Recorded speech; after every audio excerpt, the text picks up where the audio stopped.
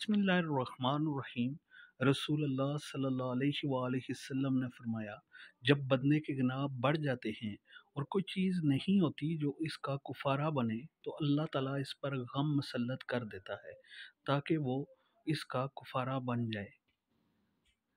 रसूलुल्लाह सल्लल्लाहु अलैहि वसल्लम ने फरमाया, अगर इंसान माल की दो वादियाँ हों तो तीसरी का ख्वाहिशमंद होगा और पेट मट्टी के सिवा और कोई चीज़ नहीं भर सकती और अल्लाह उस शख्स की तोबा कबूल करता है, जो दिल से की तोबा करता है।